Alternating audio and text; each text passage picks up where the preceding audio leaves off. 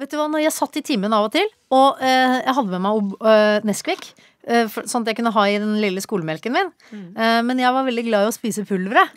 Det gjorde vi alle. Spiste pulveret. Ja. Spiste du pulveret? Jeg fikk, jeg fikk ikke lov til Nei, nei, nei, selvfølgelig ikke. Nei. Men du hadde lyst til å spise pulveret.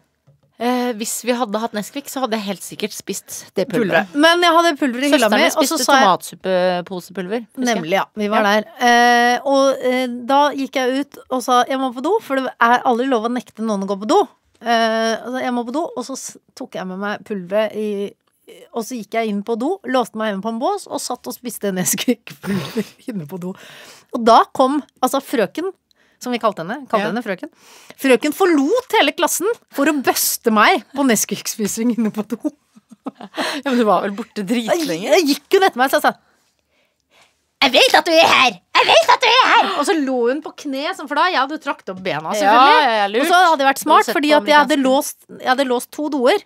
Ikke sant? Å, fy faen! For låst, bare spise Nesquik. Ja, jeg har låst én do, krabba under til den neste, og låste meg inne der, ikke sant? Ja.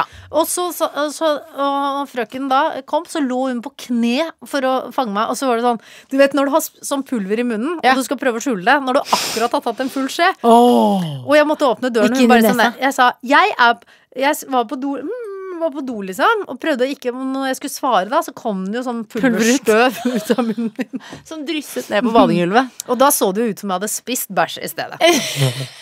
Ja, og Og da jeg. Da jeg- insisterte jeg. Jeg har spist min egen bæsj. Ja.